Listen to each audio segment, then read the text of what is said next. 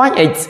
x power x power 10 equals square root 5. That our answer half a square root 5. B is root 5 of 5. C root 10 of 5. And D none. Okay, now look at the equation. The first step, I of this equation to power 10. So we get this x power x power 10 or power 10 and equals square root 5 power 10.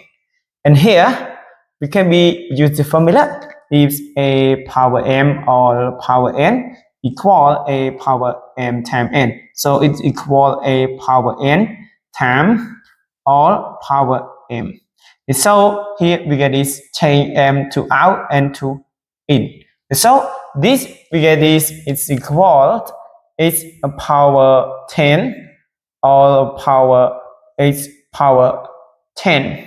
And here we simplify simplify 10 with square root, we get this 5 power 5. So we get this h power 10 and here h power 10 and here 5 power 5. So we get h power 10 equal 5. So we get h is equal root 10 of 5. So we get our answer is C